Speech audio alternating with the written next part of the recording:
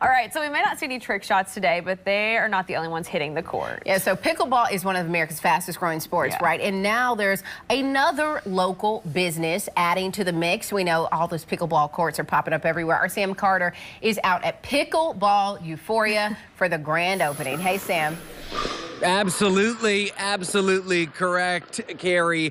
Five million players nationwide play pickleball, and right now I am joined by the brains, the brains, the absolute brains behind this. I have my guy Josh here in the black and Stephanie in the purple. Stephanie, you are, you both of you are the co-owners of Pickleball Euphoria. And one of the things I really, you, we're playing right now, and one of the things I really want to get across to people is that this is a game for everybody, right? Let's play a little bit. Absolutely. Yes. Uh, this is a multi generational sport, so all ages, all stages of life. It also crosses all skill levels. Whoa! I don't know where you pulled that from, but I like it. Keep doing that one.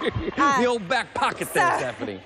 so, whether you have a professional sport background or maybe you've never played a sport in your life, pickleball is accessible for all.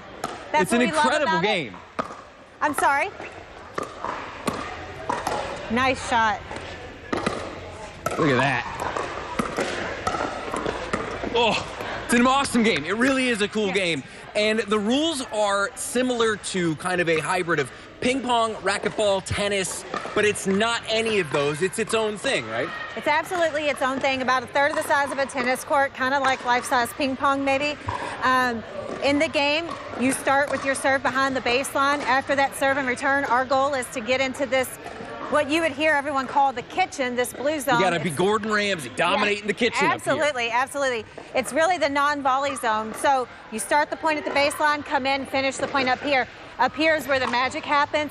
Back there, we're playing a little bit of checkers. Up here, we start playing chess. That's awesome. Okay, so um, a lot of fun. Again, it's super social or it can be super competitive. it's what you make of it.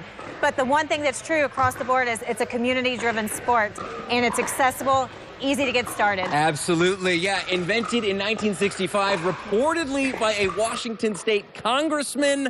That was where the first ever pickleball court was. That is provable. We're going to be back all morning, one more time anyway, with more on this incredible sport. Let's knock it around a little bit while we go out here. Guys, this is a super fun game. Yeah, and that's a really cool facility, too. This is brand new. This is their open, grand opening play. Look at all those people out there. I mean, yeah, so this says out in Springhurst. We know that one recently opened downtown, Yep. another, you know, another facility, but they're everywhere. So you don't have to go far to find a place Can't to get play enough of that pickleball. pickleball. No, they can't. hey, No, coming you're up after the break, My- Hollywood is up.